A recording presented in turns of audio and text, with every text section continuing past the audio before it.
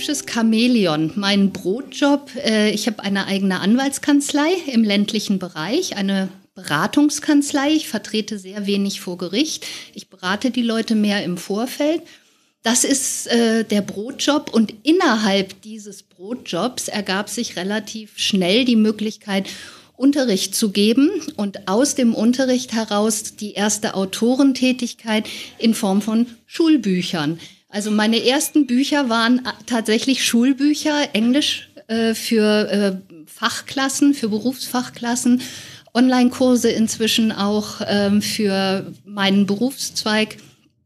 Und äh, das belletristische Schreiben ist tatsächlich als letztes dazugekommen. Dazwischen gab es nämlich noch die Lektoratsanfragen. Ich bin inzwischen deutschlandweit bekannt dafür, äh, ganz besondere Fachbuchindizes zu erstellen, Indizes zu erstellen, also äh, Stichwortverzeichnisse von historischen Werken oder von besonders komplexen Werken, bei denen besonders viele Autoren äh, mitarbeiten. Wenn man juristische Fachliteratur kennt, dann weiß man selten ein Autor, ein Buch, sondern meistens ist es so, dass die Leute Spezialisierungen haben, einzelne Paragraphen kommentieren für andere Kollegen und dann arbeiten schon mal zwischen 20 und 60 Autoren an einem Werk und das zusammenzuführen zu einem sinnvollen Stichwortverzeichnis, Sachverzeichnis, das ist dann immer auch noch mal eine kleine Mammutaufgabe, die die Lektoren vor Ort dann gerne an mich abtreten. So sind dann Werke entstanden wie ähm, aus der Tönnies Gesamtausgabe zu Gemeinschaft und Gesellschaft. Das ist ein historischer Text, neu kommentiert. Da muss man dann auch manchmal ein bisschen mit Sprache spielen, denn Sprache verändert sich. Ja, und wie gesagt, die eigene Autorenschaft unter dem Namen Georgie Severin, bewusst abgegrenzt vom bürgerlichen Namen, ähm, die ist nun ab 2016 wieder dazugekommen, wieder dazugekommen, weil ich als Jugendliche tatsächlich schon mehrfach Schreibwettbewerbe gewonnen habe und das einfach nur über die persönliche und berufliche Entwicklung ein bisschen in Vergessenheit geriet. So, Jetzt habe ich aber mit etwas angefangen, womit ich eigentlich gar nicht anfangen wollte. Ich wollte mich nämlich als allererstes mal bedanken für Ihr, für euer Interesse. Das ist gar nicht mal so äh, normal, dass das heute doch so viele geworden sind, denn ich bin ja Rheinländerin und gar nicht in Berlin zu Hause. Ich habe hier also noch keine Fanbase, wie das Neudeutsch so schön heißt. Hoffe mir heute den ein oder anderen Fan vielleicht dazu zu holen freue mich über das Interesse, über das Interesse am Buch, über das Interesse an mir. Denn irgendetwas hat ihr, hat euch, äh, hat sie ja hierher geführt. Ich denke, damit sollte man mit der Vorrede mal Schluss machen und ins Buch einsteigen. Von mir sind inzwischen zwei Romane am Markt. Das ist einmal die heutige Operation Forever K und äh, seit November letzten Jahres äh, der Sam.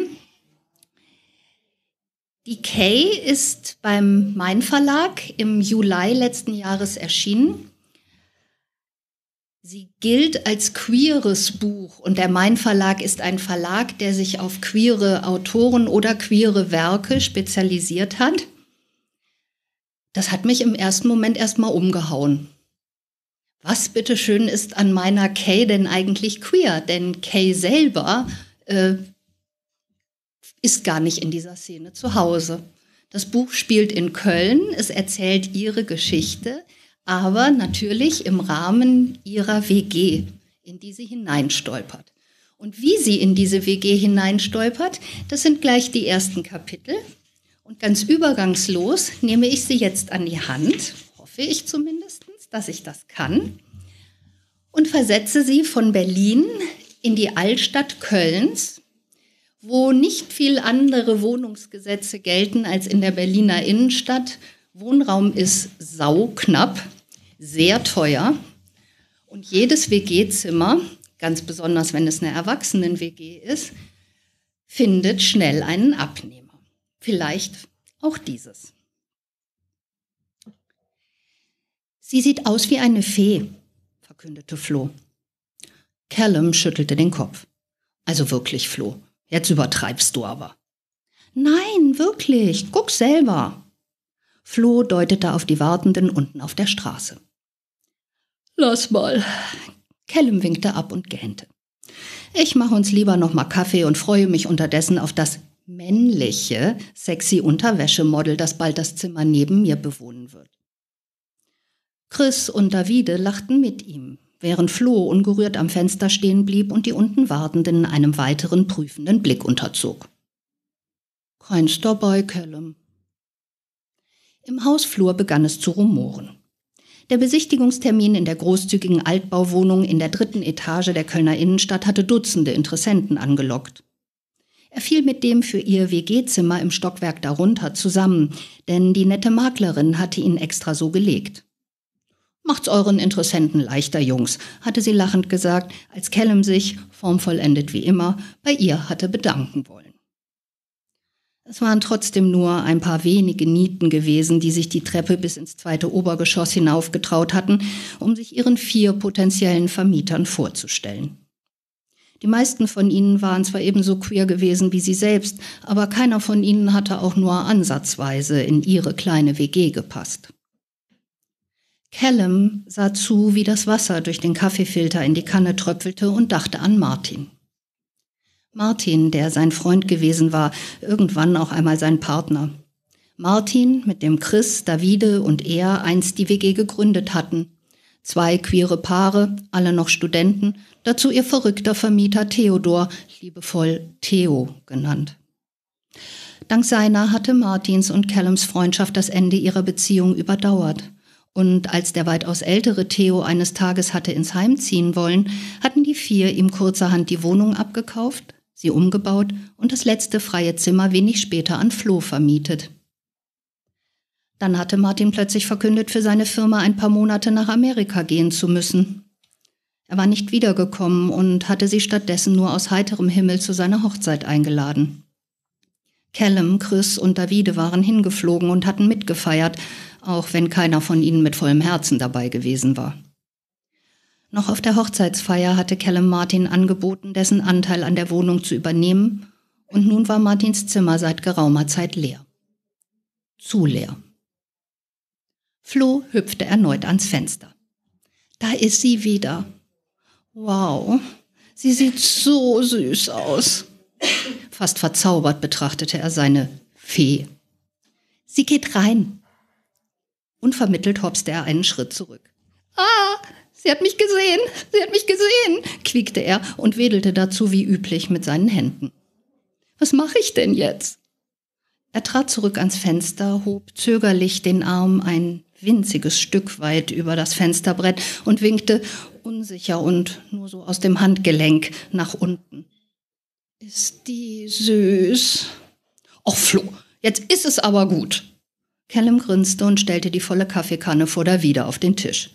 Manchmal frage ich mich wirklich, ob du dich schon endgültig für unsere Seite des Ufers entschieden hast.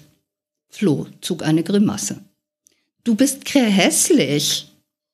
Ich war heiß, sang Callum im selben Tonfall zurück. Du bist dran. Davide nickte mit dem Kopf in Richtung Tür. Callum erhob sich, um den nächsten Bewerber einzulassen, doch vor der Wohnungstür stand eine Frau. Entschuldigung, bat sie und sah Callum aus ihren großen blauen Augen fragend an. Flo's Fee, sie musste es sein, es passte. Vermutlich hatte sie sich in der Etage vertan. Was soll ich entschuldigen? Sie lachte. Ich habe gelauscht, als die Maklerin oben einem abgelehnten Interessenten erzählt hat, hier unten sei auch etwas zu vermieten.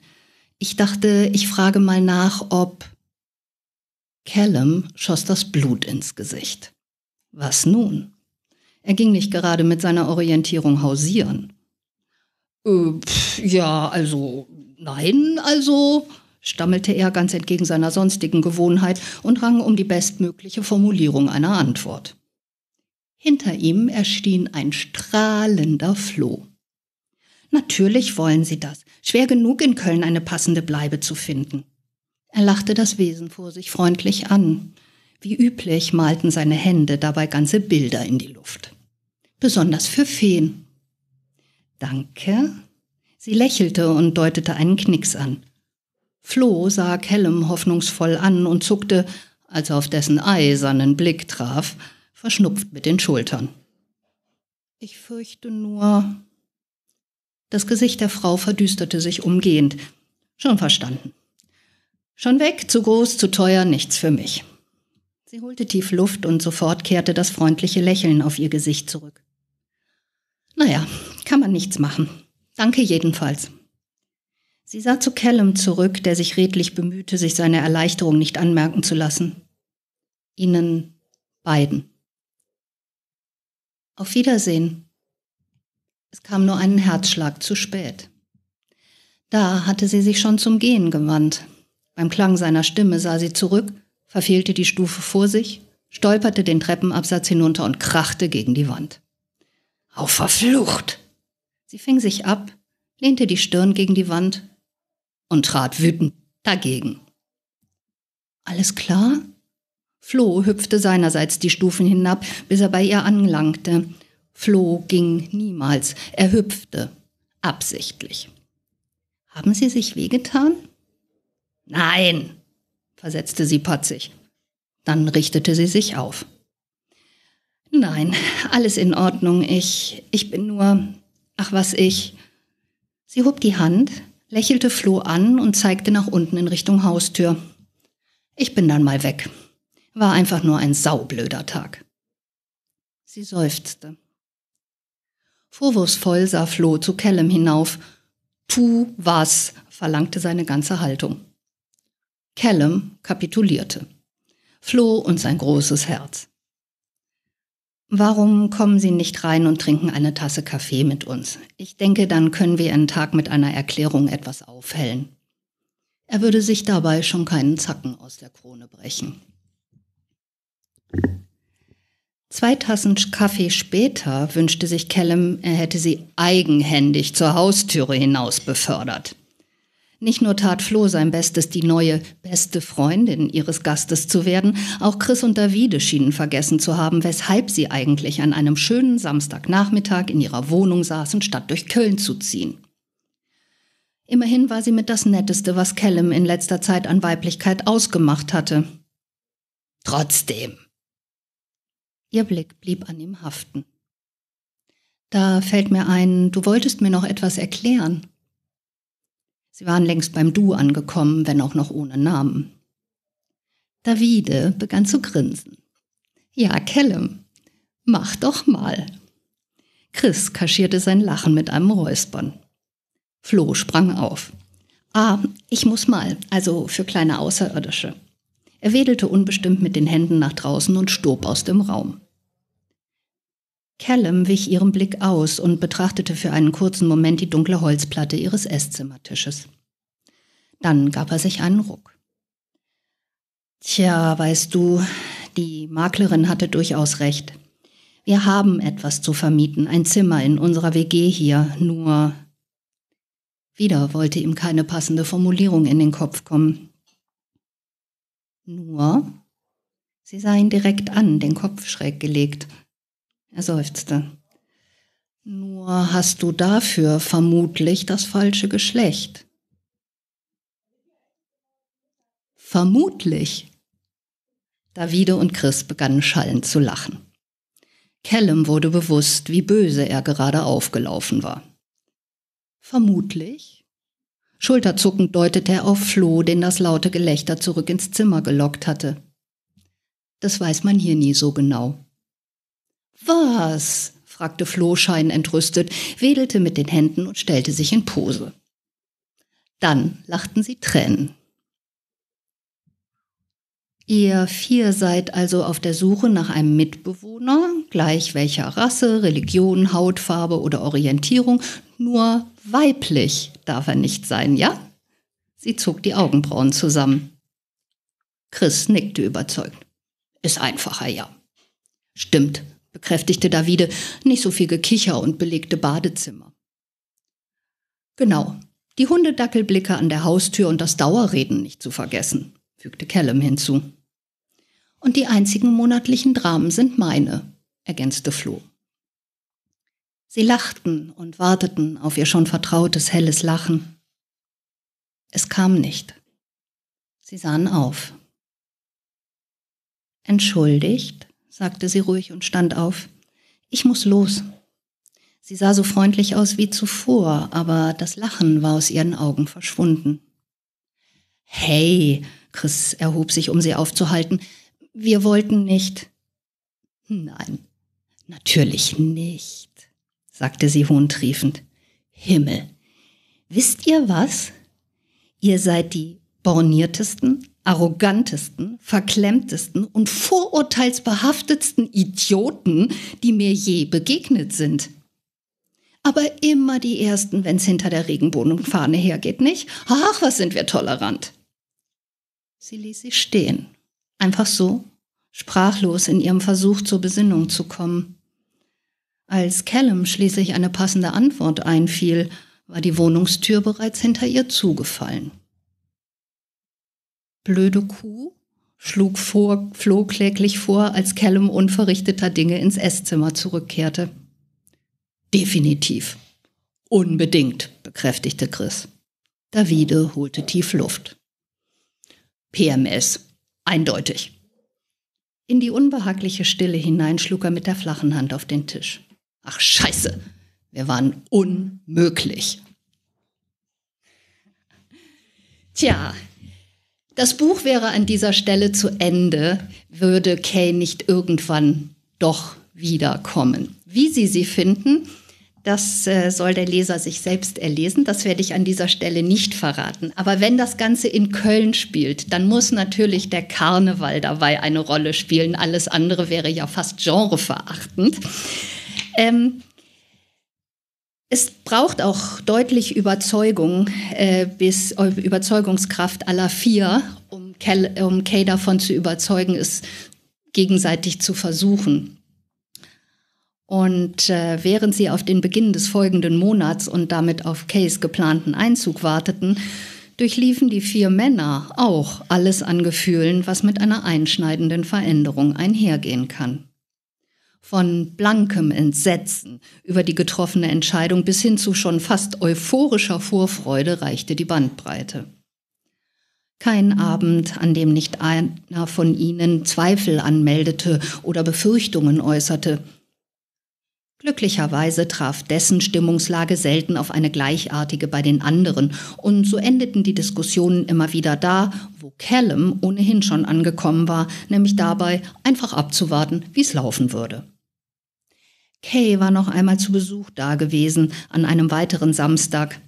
Allerdings hatten Callum, Chris und Davide sie kaum zu Gesicht bekommen. Sie war früh gekommen, als sie noch ihre allwöchentlichen Einkaufstouren gemacht hatten, hatte still und leise das Zimmer ausgemessen und die Wände in ihr passenden Farben gestrichen.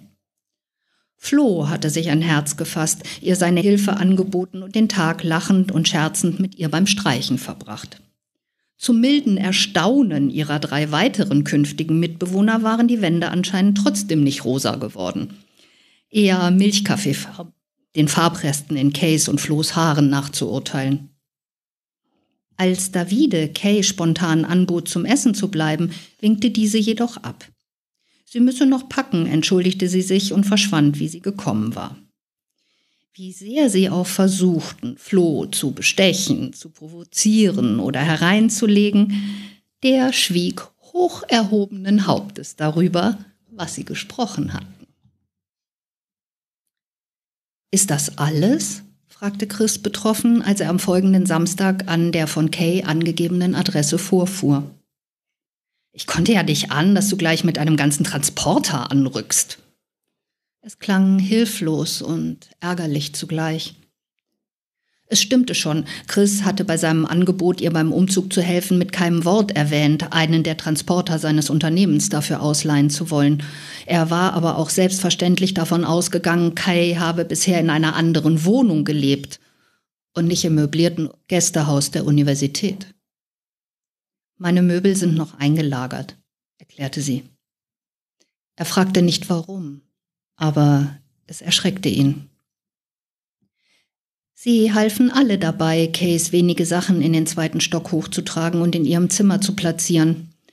Das Ganze artete in einen Wettbewerb aus, nachdem Chris großspurig Kays schwere Bücherkiste alleine hochgeschleppt und scheinbar unangestrengt auf ihrem Bett geparkt hatte. Als Callum ihm mit der zweiten Kiste nachging und sich dabei erneut zu seiner jüngst erfolgten Anmeldung in einem Fitnessstudio beglückwünschte, fiel ihm auf, welche Klischees sie mal wieder bedienten. Nachdenklich folgte er Flo die Treppe hinunter, um die letzte Umzugskiste aus Chris Transporter zu holen. In letzter Zeit wurde ihm das auffällig oft bewusst. Lag das schon an ihr? Chris und Davide haben den Samstag und den Sonntag zum Waschen. Sie kommen sonst nicht dazu. Seine Majestät von England beschäftigt lieber eine Wäscherei, statt selbst zu waschen, hält aber am Freitagswaschprivileg der adligen Eigentümerschicht eindeutig fest. Offiziell habe ich daher den Dienstag als Waschtag, aber da ich nie lange im Voraus weiß, wann ich da Dienst habe, kannst du den auch zum Waschen nehmen. Bot Flo Kay an, als sie schließlich, satt und müde, alle gemeinsam im Wohnzimmer saßen. Eigentlich lagen sie mehr, hatten Davide und Kay doch ihre kulinarischen Fähigkeiten zusammengeworfen, um Kays Einzug gebührend zu feiern. Callum hatte, dem Ernst der Lage angemessen, sogar seinen sorgsam gehüteten Vorrat geplündert und eine exzellente Flasche passenden Weins geöffnet. Du kannst die Sachen entweder unten aufhängen oder in den Trockner stecken, ganz wie du willst. Jede Wohnung hat einen Trockenplatz unten. Kay nickte und stemmte sich müde aus dem Sofa hoch. Wo willst du hin? fragte Flo erschrocken. Sie lachte. Aufräumen, Flo sah sie fragend an. Die Küche, Flo. Sie sah Callum ins Gesicht. Ein diebisches Grinsen stahl sich auf ihr Gesicht, als sie aussprach, was er sich selbst im Spaß nur gedanklich hatte zuzufügen getraut, was man ihm aber wohl von der Nasenspitze hatte ablesen können. Wo ich hingehöre. Wir haben einen Putzdienst und eine Putzfrau, Kay. Wer kocht, spült nicht und umgekehrt. Das ist genderneutral formuliert und so bleibt es auch, gab er zurück, als das Lachen abebbte. Aber die Putzfrau ist es dann schon noch, ja? Ja, und stell dir vor, sie ist tatsächlich Polin. Der einzige, den sie vorgibt zu verstehen, ist Davide, wenn er polnisch mit ihr redet. Ansonsten macht sie buchstäblich, was sie will, das aber schon seit Jahren sehr erfolgreich. Wie schade, konterte Kay. Bei der Miete hatte ich fest mit einem nackt putzenden Mann gerechnet. Flo verschluckte sich an seinem Wein. Igitt! Er war ernstlich entsetzt. Stell dir vor, was da ins Putzwasser hängt, wenn der sich falsch vorbeugt. Callum, dessen Gesicht nach dem Küchenausrutscher gerade erst wieder eine halbwegs normale Farbe angenommen hatte, merkte zu seinem Entsetzen, wie er schon wieder anlief. Könnte das jetzt aufhören, bitte? Niemand schien ihn zu hören, denn es ging genauso weiter, einen ganzen Abend lang, bis sie sämtliche Vorurteile und Klischees durch hatten und er Bauchschmerzen vor Lachen. Da wusste er, es würde funktionieren. Ein erster Eindruck des Buches. Ein Aufeinandertreffen vieler Schubladen, so gedacht, reicht mir immer wieder auch zum äh, Vorwurf. Das kriege ich oft genug zu hören. Das seien ja doch alles nur so dahingeschriebene Klischees, Schubladen und Stereotype. Ich komme da am Ende der Lesung gerne nochmal drauf zurück, denn da gibt es eine schöne Geschichte zu, zu erzählen. Die WG funktioniert ganz ausgezeichnet. Man, die Typen passen zueinander, ganz unabhängig von all diesen Klischees und Stereotypen. Man bewegt sich im Laufe der Zeit einfach aufeinander zu und aus der reinen WG-Gemeinschaft, die sich gut versteht, wächst echte Freundschaft. Dann allerdings tritt ein Ereignis ein, was die gerade gewonnene Ruhe in der WG wieder zu zerbrechen droht oder aufzuheben droht. Und dieses Ereignis wird zu der berühmten Operation Forever K führen. Im Vorfeld des Ganzen liegen, liegt ein Kapitel, das den Anfang dieses Buches als Buch markiert. Mit diesen beiden Kapiteln bin ich in den Wettbewerb zu einem Literaturfestival gegangen. Das war das erste Mal, dass ich mich getraut habe, aus der belletristischen Schreibe etwas aus der Schublade zu nehmen und bei einem Wettbewerb einzureichen. Und ähm, da sofort äh, zu den Favoriten zu zählen und eingeladen zu werden und mit einer Lesung prämiert zu werden, war für mich das Startsignal, das, was du da schreibst, gefällt nicht nur deinen Freundeskreis, dem du das immer mal wieder so vorliest, sondern vielleicht auch Dritten. Diese beiden Kapitel haben mich letzte Woche ins Radio gebracht, hier in Berlin. Ähm, Sie markieren oder Sie stellen sehr, Sie, Sie stehen repräsentativ für die andere Seite des Buches. Nicht ganz so humorvoll, nicht ganz so leicht dahingeschrieben, vielleicht eher mit etwas mehr Tiefgang. Und bevor ich sie laut vorlese, muss ich hier in Berlin etwas erklären. Ähm, von Verlagsseite und von meiner Seite lange überlegt, wie wir mit diesen Kapiteln umgehen sollen. Denn ähm, die rheinische Mundart spielt darin eine gewisse Rolle.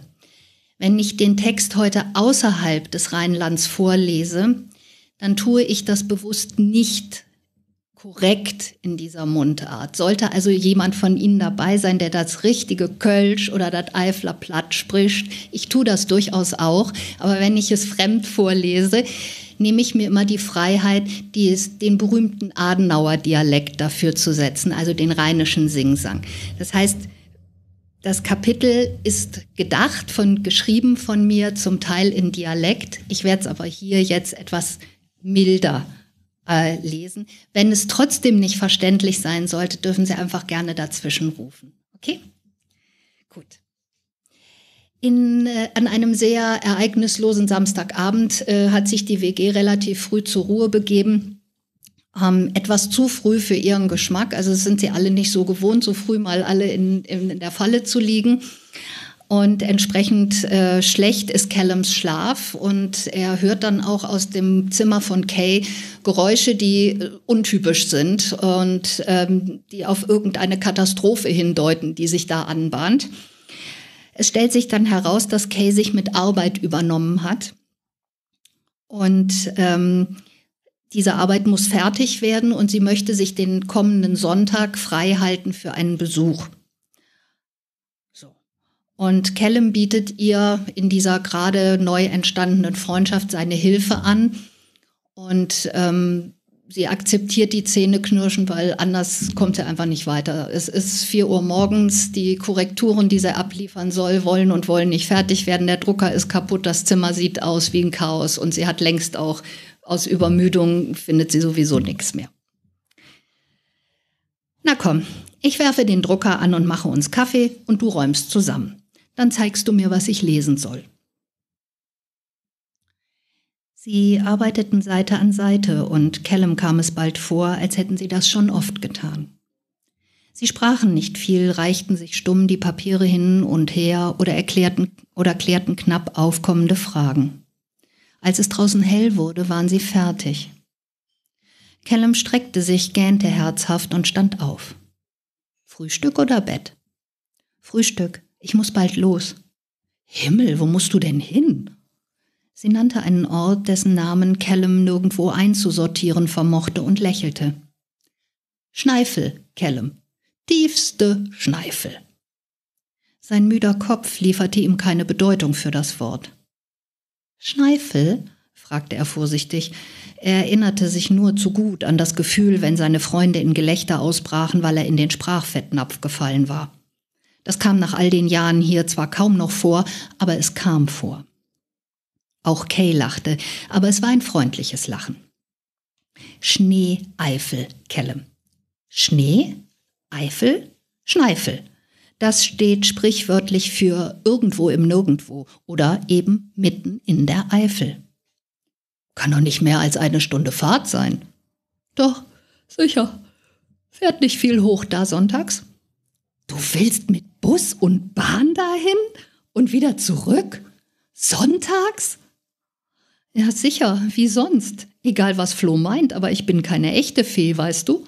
Sie wandte ihm den Rücken zu und deutete darauf. Keine Flügel. Hast du kein Auto? Callum riss die Augen auf. Nein, wozu denn? gab sie ärgerlich zurück, ärgerlicher als seine Frage es wert gewesen war. Callum sah hinaus in den immer noch regnerischen grauen Morgen. Er war müde, ihm war kalt und er sehnte sich nach einer Couch oder seinem Bett. Er sah zu ihr hinüber. Ihr schien es ebenso zu gehen wie ihm, aber sie würde da hinausgehen. Er schniefte. Okay, pass auf, wir nehmen meines. Wir frühstücken, duschen, dann fahre ich dich. Du kannst auf der Fahrt schlafen und ich, wenn wir angekommen sind. Gut? Er hatte Freude erwartet, ein Danke vielleicht. Stattdessen verzog sie unglücklich das Gesicht. Was? Es klang schärfer als beabsichtigt. Sie sah zu Boden und räusperte sich. Meine Eltern, sie sind nicht. Also. Callum verstand. Eifel. Hatte er von gehört. Schon gut. Ich sagte ja, ich bleibe im Auto. Von mir aus lauf das letzte Stück. Sie lächelte, als sie verstand, was er in ihre Worte hineininterpretiert und gerade angeboten hatte, und legte ihren Arm auf den seinen. Danke. Aber das meinte ich nicht. Sie sind einfache Leute, Callum. Das meinte ich, nichts sonst. Und natürlich kommst du mit rein. Sie zog die Augenbrauen zusammen und musterte ihn von oben bis unten. Kleiner Dienstanzug, Callum. Hemd, Pullover, Jeans und Sneaker. Kein dunkler Maßanzug, keine Halbschuhe, keine Krawatte, Majestät. Ja? Callum folgte der Straße, die das Navigationsgerät ihm vorgegeben hatte. Er lauschte dem gleichförmigen Dudeln des Radios, dem Tick-Tack der Scheibenwischer und versuchte wach zu bleiben. Neben ihm schlief Kay tief und fest. Sie hatte sich schon kurz nach der Abfahrt auf dem Beifahrersitz eingerollt und kuschelte sich jetzt in die Wärme der Sitzheizung und des langen Mantels, den er in einem weiteren Anfall von Fürsorglichkeit vom Rücksitz geangelt und über sie gebreitet hatte. Er fragte sich, wie das Ende seiner Reise aussehen würde, was ihn erwartete. Wie immer, wenn das geschah, fühlte er sich unsicher und verletzlich und ebenfalls wie immer folgte dem umgehend der Ärger auf sich selbst. Ein erwachsener Mann, der sich von derart einfachen Alltagssituationen aus dem Konzept bringen ließ? Derselbe Mann, der sich fast mühelos durch zwei deutsche Staatsexamen und ein Rigorosum poliert hatte und seitdem regelmäßig souverän den Staatsvertreter gab? Nur war das ja kein Gerichtssaal. Keine festen Regeln. Eine Ansage des Navigationsgerätes holte ihn aus seinem Brüten. Er verließ die Zubringerstraße und folgte dem vorberechneten Weg in das Dorf, in dem ihr Ziel lag. Zweistöckige, weiß gestrichene oder rot verklinkerte Einfamilienhäuser mit großzügigen Vorgärten säumten die Durchfahrtsstraße. Ein Bäcker, ein Reifeisenautomat mit Geldautomaten. Eine Kirche, natürlich. Er grinste, als sie an einem dieser altmodischen roten Automaten vorbeifuhren, von denen Chris ihm einmal erzählt hatte, sie würden Kaugummiautomaten genannt und in den Plastikkugeln darin wären herrlich bunte Plastikringe verborgen, die man als Junge hatte verschenken können. Nur vielleicht nicht gerade an andere Jungen, vermutete Callum und bog in eine von der Hauptstraße abzweigende Sackgasse ein. Nicht hier, jedenfalls. Sie haben Ihr Ziel erreicht, verkündete die freundliche Frauenstimme des Navigationsgerätes. Callum parkte und rüttelte Kay sanft an der Schulter. Wir sind da. Sie gähnte, richtete sich auf und warf einen prüfenden Blick in den Spiegel der Sonnenblende. Callum nutzte die Zeit, stieg aus, ging um den Wagen herum und öffnete ihr die Wagentüre. Als sie ausstiegen, ging an einem Haus auf der gegenüberliegenden Straßenseite die Haustür auf. Eine ältere Frau erschien darin und strahlte. Da bist du ja. Sie zog die herangekommene Kay fest in ihre Arme und hatte sie noch nicht wieder losgelassen, als hinter ihr eine weitere Tür aufging. Der Mann darin blieb abwartend stehen, bis Kay in seine Arme wechselte. Na, dann kommt mal rein, brummte er. Seine Einladung schloss Callum so selbstverständlich ein, wie der sich plötzlich dafür verwünschte, den beiden nichts mitgebracht zu haben. Als Callum Davide später das Haus beschreiben wollte, in dem Kay groß geworden war, winkte der nach wenigen Worten ab. Weiß schon. Zweigeschossig, Einfamilienhaus. Rechts vorne am Eingang das Gästeklo, daneben die Treppe in die obere Etage. Braun. Sie sind immer aus Holz und mittelbraun. Gegenüberliegend das Esswohnzimmer, letzteres nach hinten raus zum Garten, holzverkleidet, Gelsenkirchener Barock.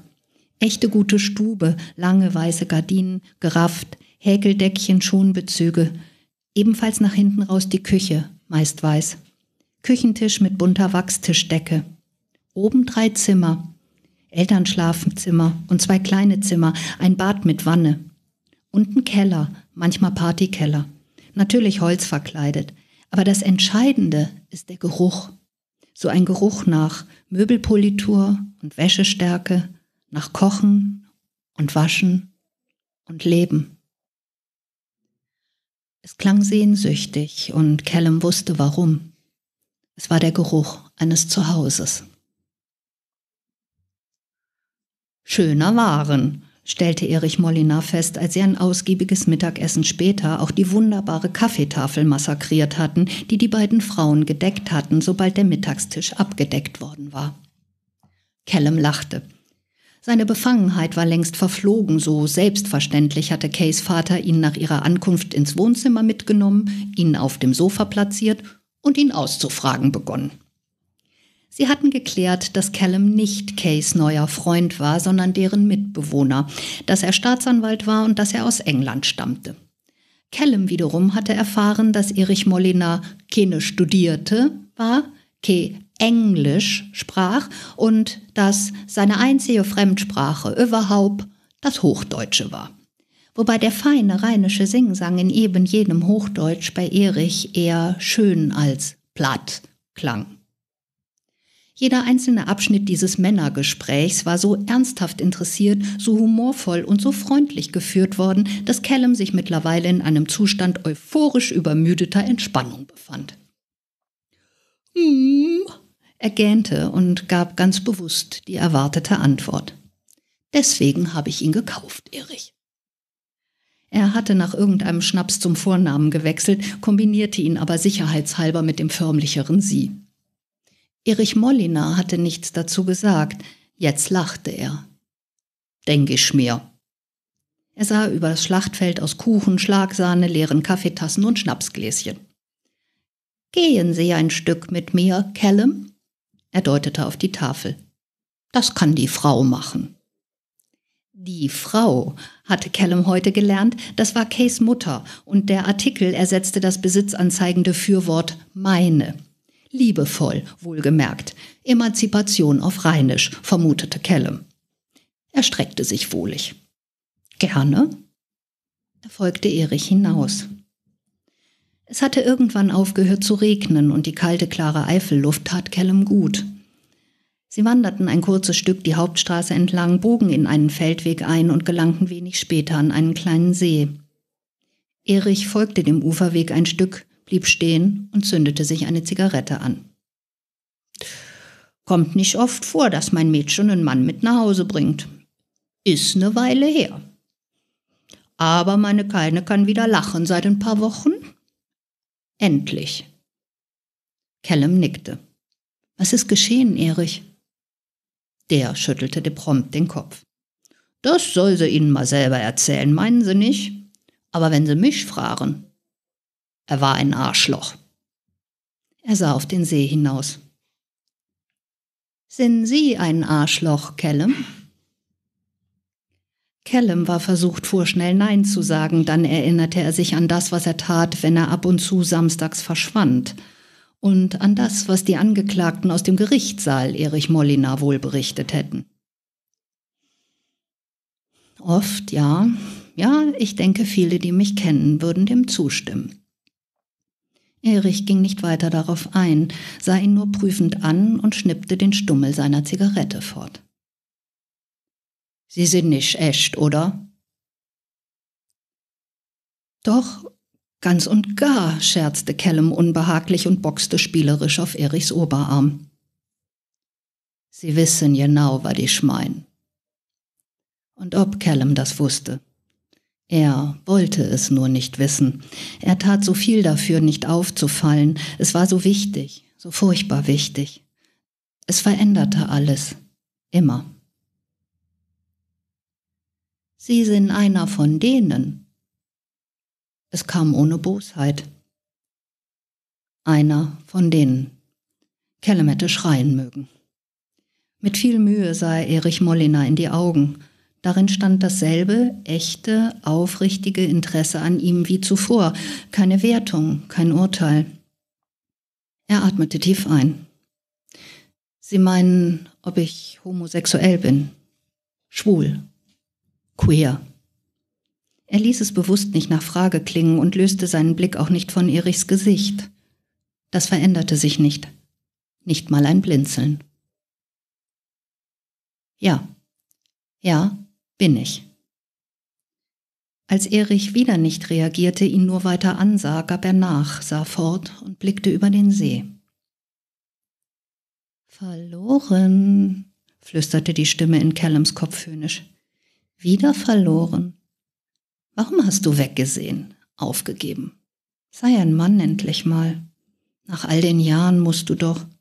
Sollte Ihnen recht sein, platzte er laut heraus, nur um der Stimme nicht mehr zuhören zu müssen. Weitaus weniger gefährlich für geliebte Töchter. Deswegen hat sie es Ihnen ja erzählt. Es war ein dämlicher Spruch, und so zog Erich Molinar auch nur die Augenbrauen hoch und sah ihn weiter an. Callum wurde das Schweigen zwischen ihnen unbehaglich. Er rettete sich in den nächsten Satz. Der See. Er deutete hinaus. Fische? Erich folgte Callums Blick, endlich, griff in seine Jackentasche und zündete sich eine weitere Zigarette an. Barsche? Rotauren? Sowas? Angeln Sie? Callum dachte an seine Heimat, an die Angelausflüge mit seinem Vater an den See, ein paar Meilen entfernt, in seiner Kindheit. Meilen, spottete die Stimme. Merkwürdig. Dann sind es immer Meilen, keine Kilometer. Er dachte schon so lange in Kilometern. Er erinnerte sich des wartenden Erichs. Als Kind mit meinem Vater, ja. Heute nicht mehr. Er versuchte seinen Tonfall neutral zu, zu halten. Es gelang ihm nicht. Er weiß es, ja? Callum biss sich auf die Lippen und schob die aufkommenden Erinnerungen eisern fort. Für meinen Vater existiert nicht, was nicht sein darf. Erich nickte nur. Ich hab mir immer einen Jungen gewünscht. Vielleicht ist Kay deswegen eine halbe geworden. Er lächelte und Callum lächelte zurück. Ich weiß es nicht. Aber wenn ich einen Jungen gehabt hätte, und er wäre so ein Mann geworden wie Sie, Callum, dann wäre ich, verdammt nochmal, stolz auf dem. Callum verschlug es die Sprache. Dann mahnte sein Gewissen ihn, eine Lanze für seinen Vater zu brechen. Das sagt sich leichter, als es sich leben lässt, Erich. Erich schnaubte ärgerlich. Die haben jetzt schon Schützenkönige wie Sie, bemerkte er trocken und sah Callum wieder an. In seinen Augen stand ein sehr vertrautes Funkeln. Irgendwo, fügte er schelmisch hinzu und zwinkerte. Kay. Es war Kays Funkeln, wenn sie ihn ansah und ihn aufzog. Bei Düsseldorf vermute ich.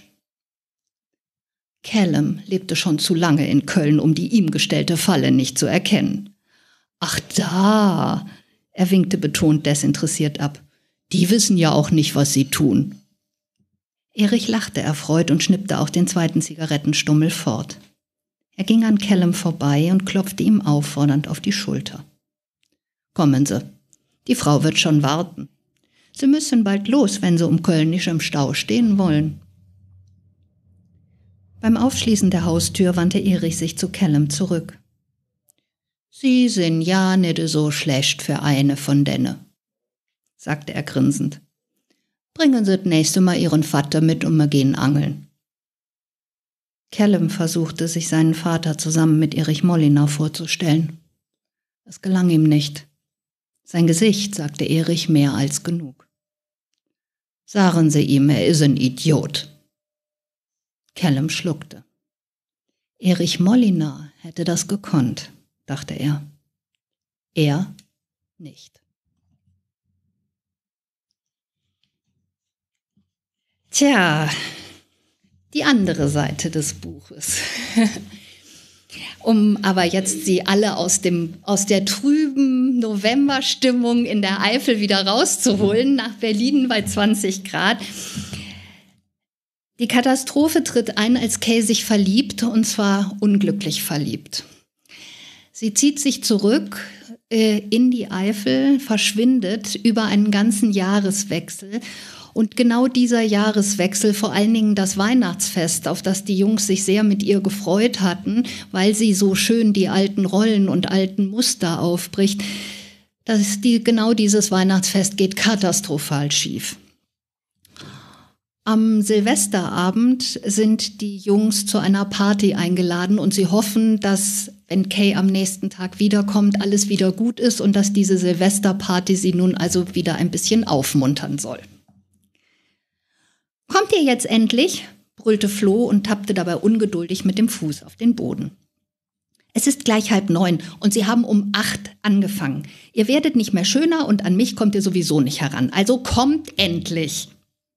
Hör auf zu krähen, Hähnchen, sonst kommst du in die Suppe, brüllte Davide aus der Küche zurück. Flo grinste.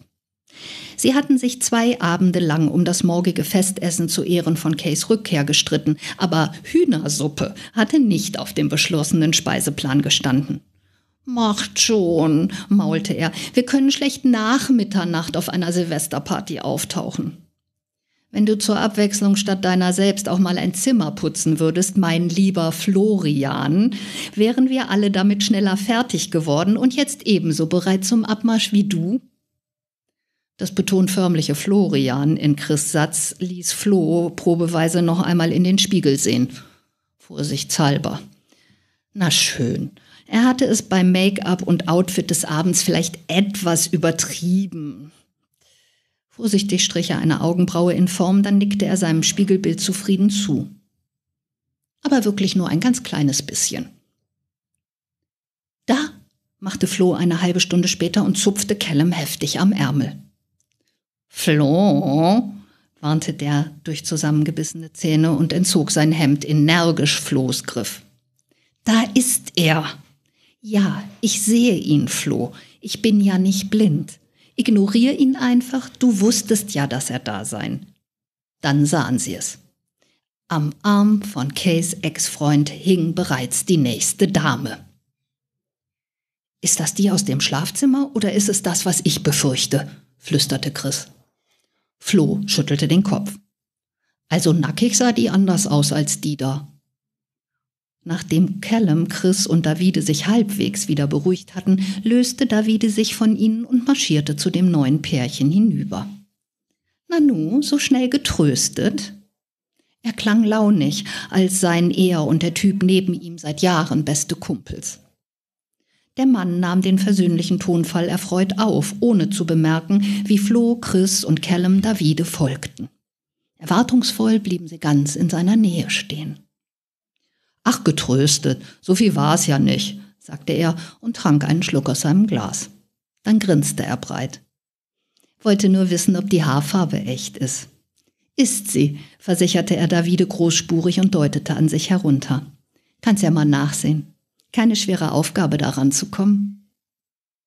Davide nickte langsam, stellte sein Glas in Chris bereits hingestreckte Hand und schlug zielsicher zu.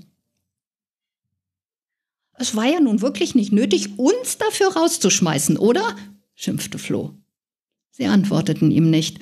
Er erwartete es auch nicht. Er schimpfte nämlich schon den gesamten Rückweg über.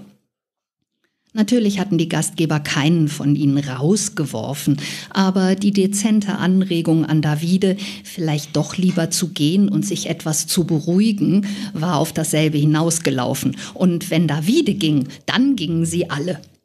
Zudem hatte Davide genau das Richtige getan und hätte eigentlich noch viel mehr tun sollen. Das stand ja wohl außer Diskussion. Sie gönnten dem Typen die Magenschmerzen von ganzem Herzen, auch wenn sie ein schlechtes Gewissen gegenüber ihren Gastgebern hatten. Aber nur wegen des schönen Teppichs. Ihre merkwürdige Mischung aus Euphorie und Schuldbewusstsein hielt noch an, als sie wieder in ihrer Wohnung eintrafen. So holten sie aus ihren Zimmern zusammen, was sie für eine improvisierte Silvesterfeier benötigten, und setzten sich an den großen Esstisch, um die letzten Stunden des alten Jahres doch noch halbwegs passabel herumzubekommen. Sie plauderten und tranken, bis sie im weiten Bogen wieder bei Kay, beim vergangenen Weihnachtsfest und bei ihrem Rauswurf landeten. Da seht ihr, was passiert, wenn wir sie weglassen. Ich habe ja gleich gesagt, sie ist eine Fee. Sie bringt uns Glück, konstatierte Flo in die unbehagliche Stille hinein, die sich ausgebreitet hatte. Callum, Chris und Davide sahen einander an. Jeder wartete auf Protest des anderen, aber es kam keiner. Keine Typen mehr, nickte Callum langsam. Er musste es langsam tun, denn die Flasche Gin auf dem Tisch vor ihm war seit ihrer Heimkehr um einiges leerer geworden und sie alle waren vor ihrem Aufbruch wegen der Putzerei nicht mehr zum Essen gekommen. Keine Typen mehr, wiederholten Chris und Davide. Ihre gemeinsame Flasche Rotwein war ebenfalls fast leer. Es war ihre zweite. Flo, dessen Wodka-Mix-Getränk auch nicht ohne war, sich aber wegen der Kälte nicht so schnell trinken ließ, musste grinsen. Hallo, Erde an Jungs, wir sind queer. Die sahen ihn verständnislos an. Keine K-Typen mehr, der Rest von uns darf ja wohl noch machen, was er will, oder? Jupp. Callum hickste, stand auf und erhob feierlich sein Glas, als sei er im Begriff, einen Toast auf die Queen auszubringen. Gentleman, nuschelte er, dann riss er sich zusammen. Ab sofort gilt, wir beißen weg, was Kay an die Wäsche will. Er warf einen Blick zu Flo. Nicht uns. Davide folgte Callums Beispiel, auch wenn er sich dazu mit der anderen Hand am Stuhl festhalten musste. Jawohl, ein Schwur. Wir tun alles, was nötig ist, um sie hier zu behalten, deklamierte er hochkonzentriert. Chris und Flo erhoben sich ebenfalls. Wir bereiten Kay ab sofort den Himmel auf Erden, damit sie nie wieder weg will, ergänzte Chris sorgfältig und fügte sein Glas den beiden bereits Erhobenen hinzu. Er nuschelte nie, wenn er betrunken war, er wurde nur langsamer, bis er einschlief. An uns wird keiner heranreichen, schwor Flo und kämpfte verzweifelt darum, mit seinem an die Gläser der anderen heranzureichen. Während sie feierlich anstießen, stiegen draußen die ersten Silvesterfeuerwerke gen Himmel. Also gut, Leute, verkündete Callum, als sie sich zufrieden wieder auf ihre Stühle fallen ließen, starten wir die Operation Forever Kay. Die Operation Forever Kay ist zustande gekommen durch diesen fehlgeschlagenen Jahreswechsel, durch Kays Liebeskummer und ähm, äh, ja, eine ähm, etwas alkoholgeschwängerte Situation. Sie braucht aber jetzt natürlich noch eine Umsetzung. Nur zur Erinnerung, die Jungs haben beschlossen, keine K-Typen mehr und äh, wollen das irgendwie im wahren Leben umsetzen. Wir machen einen kleinen Sprung. Davide stand am Fenster seines Büros und sah stumm hinaus. Wieder. Es war schon wieder passiert, tobte er stumm. Der siebte Klient in sechs Monaten, der um künftige Betreuung durch Niklas gebeten hatte. Davide hatte nichts gegen Niklas, der war unbestreitbar ein Beratungstalent und ein Menschenfänger im besten Sinne. Davide hätte sich nur gewünscht, der Mitzwanziger hätte sich nicht immer ausgerechnet seine Klienten zur Zielscheibe seiner Abwerbungen erkoren. Davide wusste nicht mehr, wie er das verhindern sollte, außer mit noch mehr Leistung. Die aber vermochte er kaum mehr zu erbringen. Die ständige Erreichbarkeit, seine Angespanntheit und seine Sorge zogen seine Beziehung zu Chris bereits in Mitleidenschaft. Chris schwieg dazu, aber er litt darunter schon weil er sich so um Davide sorgte. Das Läuten seines Tischtelefons riss Davide aus seinen Gedanken. Kay ist hier, Davide, vermeldete seine Assistentin. Die Aussicht auf Kay zauberte ihm ein Lächeln ins Gesicht. Sie soll durchkommen, ja? Danke. Er legte auf. Kay, rief er erfreut, als sie nur Sekunden später eintrat.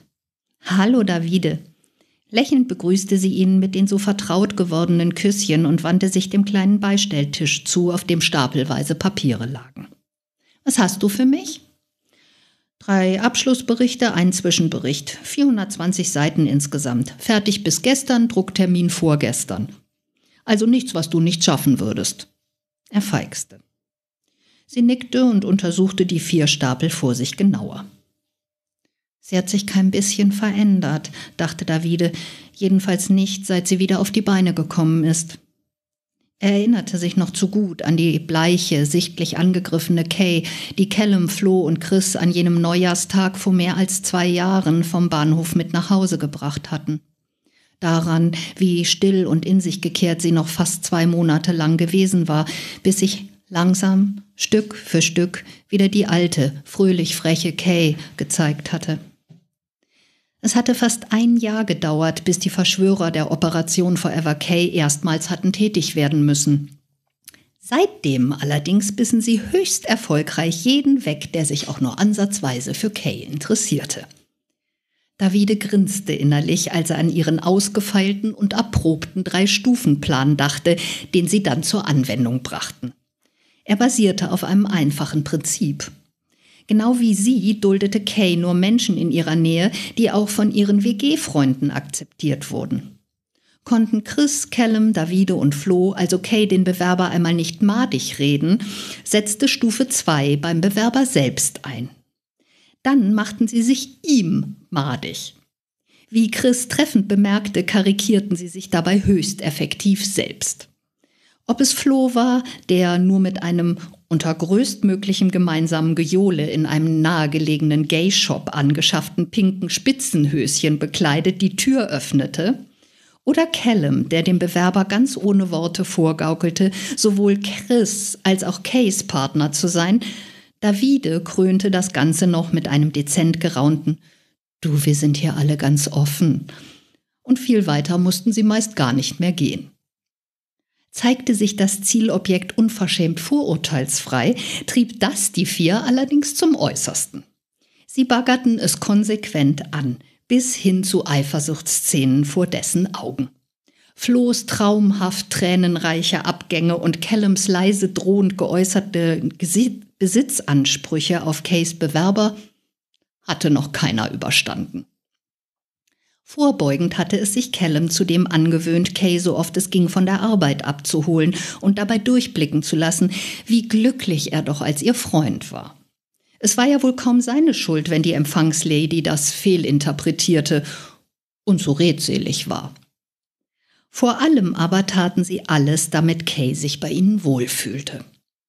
Sie erwiesen ihr Aufmerksamkeiten, an die sie sich untereinander immer wieder erinnerten und versuchten sie so fest wie möglich in ihr Leben einzubinden. Letzteres bedurfte keiner besonderen Bemühung, es ergab sich einfach so. Sowieso hatten sie stets das Gefühl, mehr zurückzubekommen, als sie gaben. Callums Ausflüge waren seltener geworden, weil er dank Kay erstmals seit Martin wieder jemanden hatte, dem er vertraute und an den er sich wenden konnte, ohne Angst haben zu müssen, in Chris und Davides Partnerschaft zu stören. Auch Flohs Liebschaften hatten sich reduziert, seit er bei Kay Zuneigung und Aufnahme fand. Selbst seine Outfits waren dezenter geworden, schon weil Kay ihn stets liebevoll auslachte, wenn er es übertrieb.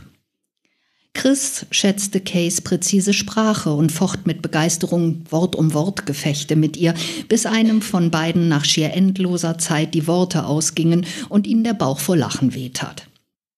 Aber am meisten schätzte Chris ihren untrüglichen Instinkt dafür, wann er, Davide, dringend kochen sollte.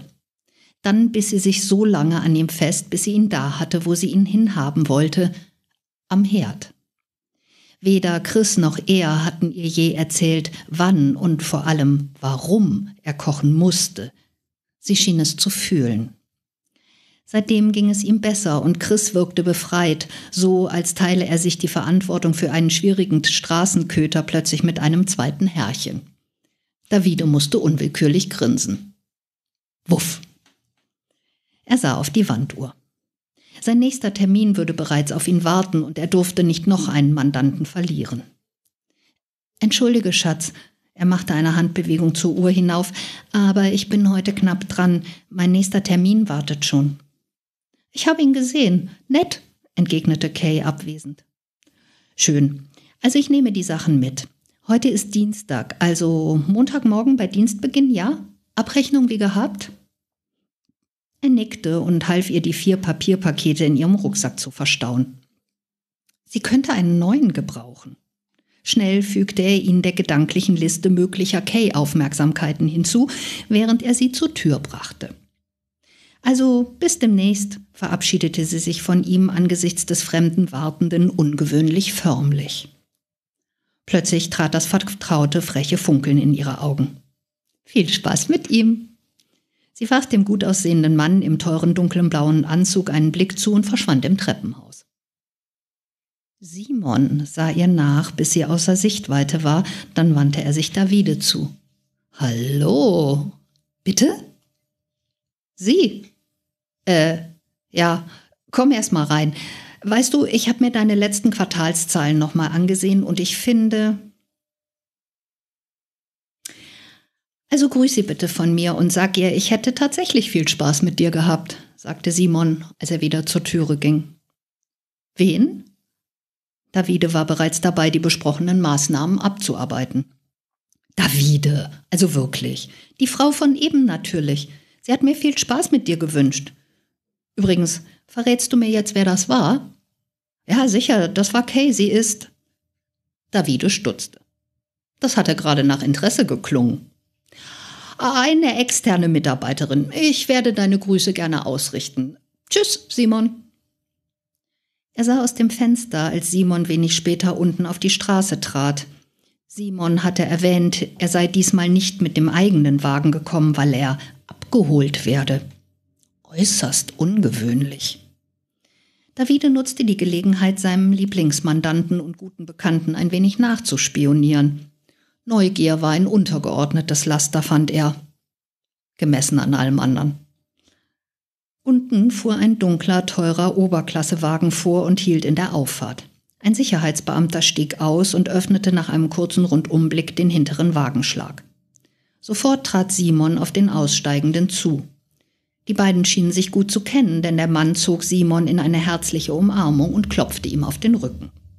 Simon löste sich aus der Umarmung, beugte sich zu dem osteuropäisch aussehenden Mann vor und küsste ihn unvermittelt mitten auf den Mund. Davide lachte lauthals los. So viel dazu. Falscher Alarm.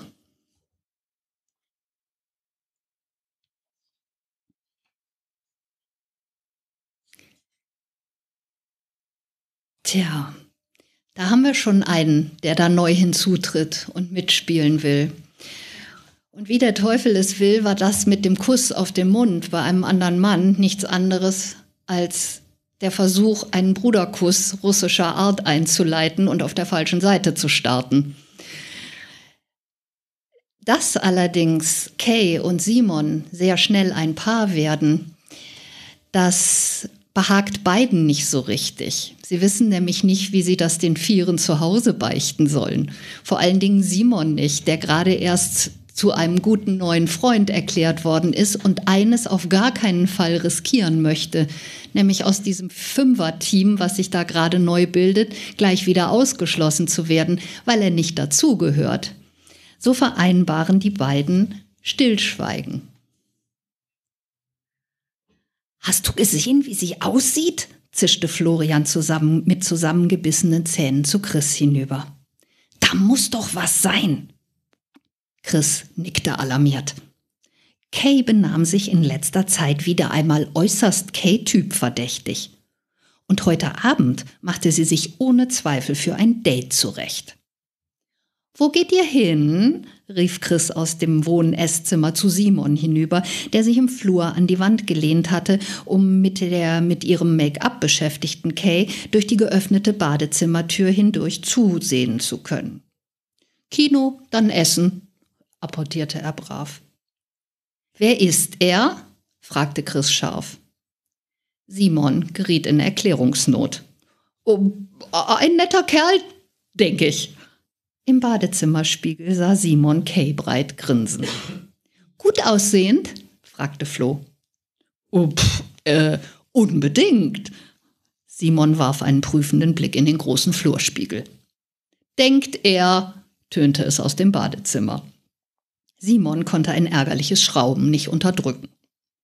Und was macht er so? erkundigte sich Chris. Simon lief rot an.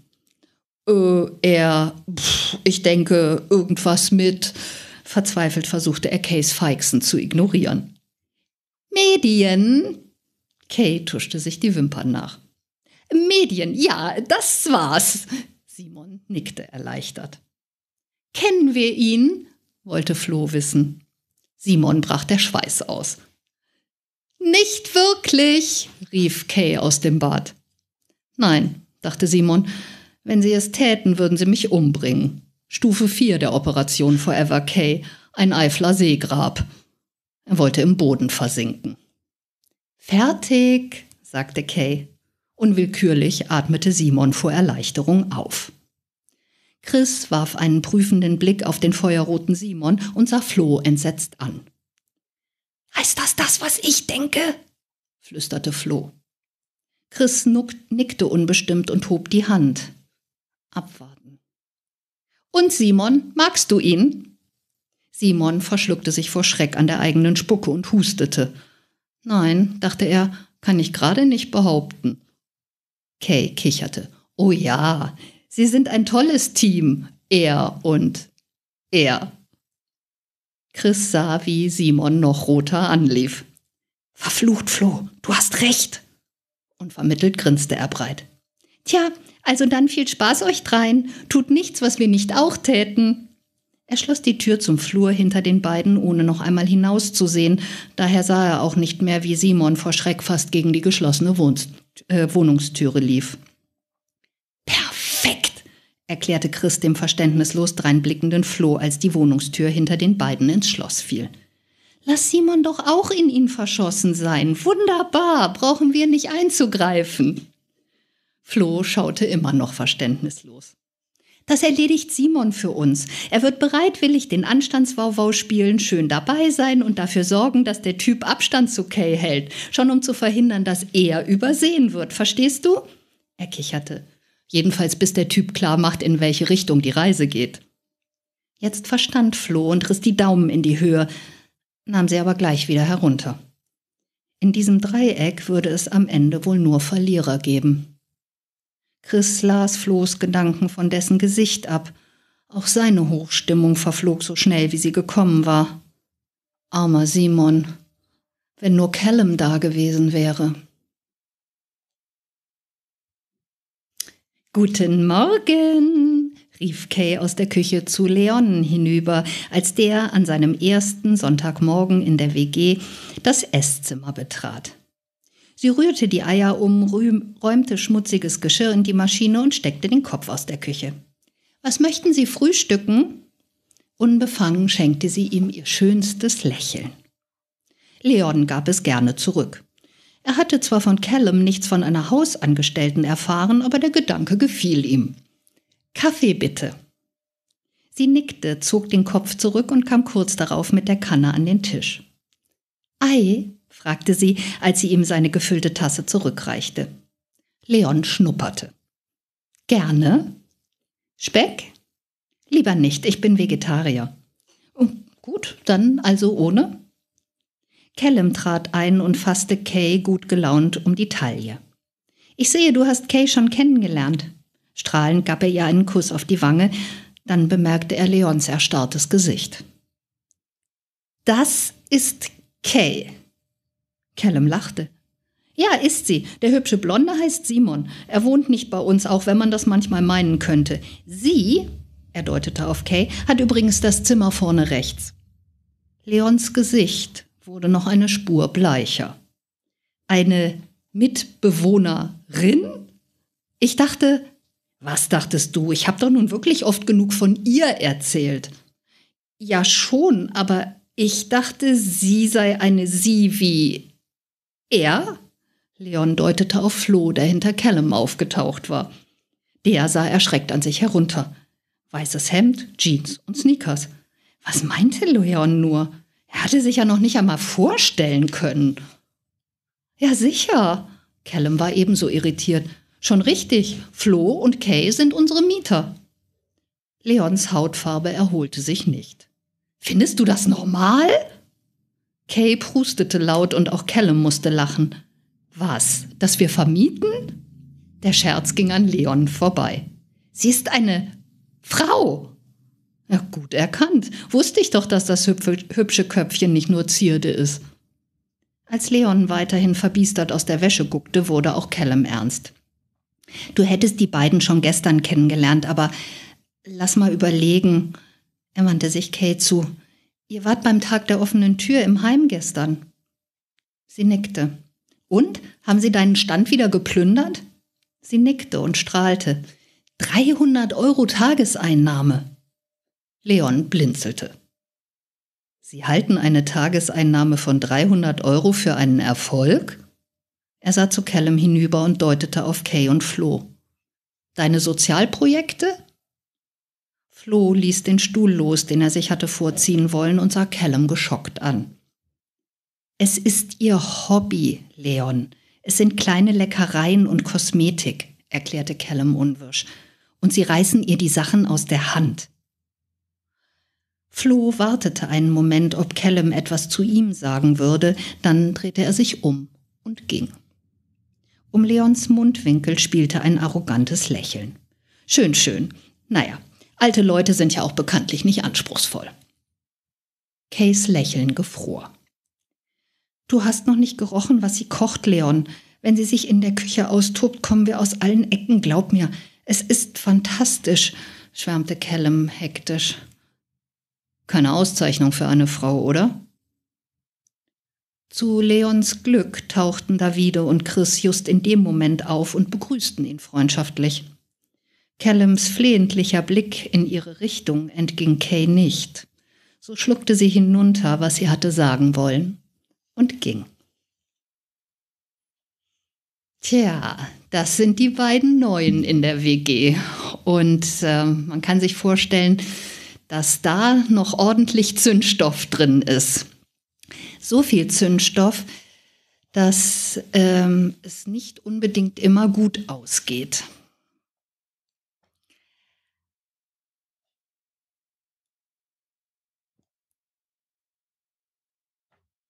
Ich muss nur die passende Seite finden, wo es gerade nicht gut ausgeht. Es ist so schwer in dem Buch. Die Arbeitssituation von Davide und die Vorkommnisse, über die ich jetzt hier nicht berichten möchte, führen dazu, dass ähm, Chris und Davide mit ihrer ersten ernsthaften Krise in der langjährigen Partnerschaft zu kämpfen haben. Und diese Krise endet damit, dass Chris auf dem Weg zu seiner Arbeit einen Herzinfarkt erleidet. Callum und Kay waren schon dort, als Davide im Wartebereich eintraf. Er ging zu ihnen, wartete stumm auf die angekündigte Ärztin und das Urteil, das sie bringen würde. Er empfand nichts, war immer noch nicht aus dem Tunnel heraus, in dem er schon so lange feststeckte, eine Wand aus Glas zwischen sich und seiner Umwelt. Sind Sie Angehörige? Eine Frau im weißen Kittel kam auf sie zu.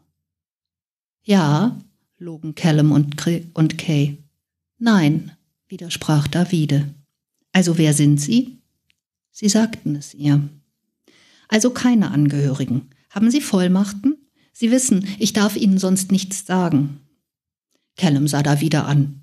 Sicher hat er die. Davide aber schüttelte den Kopf. Nein, Callum habe ich nicht. Wir haben nie. Callum platzte der Kragen. Ja, sag mal, spinnt ihr? Chris ist doch vom Fach. Ihr wisst doch genau, Chris hat seit 20 Jahren eine Vollmacht für mich. Davide sah zu Boden. Sie hatten darüber gesprochen. Einmal. Das einzige Mal, bei dem Chris je ausgesprochen hatte, was er wollte, was er sich wünschte, wo er hin wollte mit ihm, mit Davide. Sie waren damals um Haaresbreite der Trennung entronnen und hatten seither nie wieder darüber gesprochen. Jetzt würden sie es womöglich nie mehr tun. Die Wand aus Glas bekam einen Riss. Hat er Angehörige? fragte die Ärztin, als Davide schwieg. Angehörige. Irgendwo auf dieser Station lag Chris, sein Chris, und sie würde schweigen. Chris würde sterben und er würde weit fort sein, nicht zu ihm dürfen, nichts mehr sagen, ihm nichts mehr mitgeben können. Die Glaswand zersprang in tausend Scherben. Ja, mich, seit nahezu 20 Jahren. Aber Sie kommen damit nicht zurecht. Ich komme damit nicht zurecht. Die halbe Station hörte ihn brüllen und sah zu ihnen hinüber. Es kratzte ihn nicht. So ist es doch immer. Sie kommen mit uns nicht zurecht und wir müssen darunter leiden. Er machte einen Schritt auf sie zu. Callum fing ihn ab. Davide. Die Ärztin schüttelte den Kopf. Machen Sie bitte nicht mich für Ihre Versäumnisse verantwortlich. Nach dem, was Sie gerade gesagt haben, könnten Sie längst eine Lebenspartnerschaft oder eine Ehe führen. Dann hätten wir diese Probleme nicht. Ganz abgesehen davon, dass jedes nicht verheiratete Paar dasselbe Problem hat. Also immer mal halblang mit den Vorwürfen, ja? Davide schämte sich in Grund und Boden für seinen Ausbruch. Vor allem Callums wegen. Darf ich wenigstens zu ihm? Die Ärztin sah ihn mitleidig an. Nein, tut mir leid. Wenn er wach wird und es möchte, ja. Oder wenn seine Angehörigen es erlauben. Davide trat zurück und nickte, als sie sich abwenden wollte, hielt er sie unvermittelt am Ärmel ihres Kittels fest. Warum? Er ist immer so still, so, so gleichmäßig, stabil, regt sich so wenig auf. Vermutlich deswegen, erklärte sie sanft und ohne seine Hand abzuschütteln. Das wäre nicht ungewöhnlich. Solche Menschen fressen Sorgen und Kummer oft in sich hinein. Sie sah ihn an. Hatte er Kummer in letzter Zeit? Davide musste nicht antworten. Sie blickte sich um und lächelte verschwörerisch. Nun, es könnte ja vielleicht sein, dass Sie durch Zufall hören, wie ich einer Schwester mitteile, dass der ICU-Patient mit dem Herzinfarkt derzeit untersucht wird und wir bald mehr wissen werden. Sie lächelte zu Callum hinauf und zwinkerte. Aber so etwas würde mir natürlich nie passieren. Sie warteten gemeinsam, bis Chris Familie eintraf. Dann entschuldigten Callum und Kay sich und beobachteten aus der Ferne, wie Chris Eltern und dessen Schwester reagierten, als Davide ihnen erklärte, warum Chris an jenem Morgen am Kölner Hauptbahnhof zusammengebrochen war, woher er gekommen war und warum. Sie hätten sich jede Sorge sparen können, denn die drei stellten Davide wie selbstverständlich in ihre Mitte, als die Ärztin zurückkam und ihnen nun in allen Einzelheiten berichtete. Es gab kein Wort des Vorwurfs, kein Unverständnis, nur Sorge. Callum und Kay ließen sie guten Gewissens alleine, um mit Flo und Simon in der Wohnung auf Neuigkeiten zu warten. Als die Nacht voranschritt und sich niemand mehr blicken ließ, als die Ungewissheit und die Angst sie stumm machten, zog Davide sich zurück.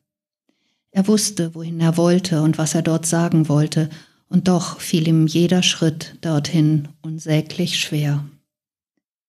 Der Raum war schlicht gehalten, offen für alle Zufluchtsuchenden. Keine Symbole an den Wänden, nur eine Kerze, Licht für die Dunkelheit in denen, die hierher kamen. Er fühlte sich willkommen. Er ließ sich auf eine der Bänke fallen, die Gedanken noch wirbelnd, den Kopf wie aus Watte. Er faltete die Hände in jener ordnenden Geste, die ihm so viel bedeutete und die anderen so lächerlich war, sprach die uralten Worte, die wie stets ganz von selbst kamen, ihm den Weg weisen wollten. Dann erzählte er. Nehmen Sie die Finger von ihm, polterte eine Stimme hinter ihm. Davide zuckte zusammen. Ein Mann in einem schwarzen Hemd zog die Hand zurück, die er ihm wohl hatte auf den Rücken legen wollen, und wandte sich dem Sprecher zu.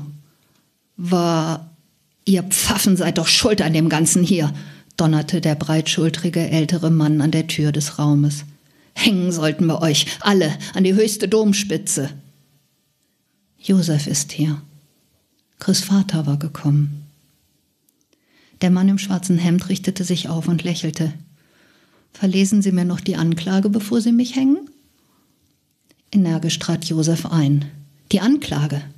Mein Sohn liegt da oben und kämpft um sein Leben.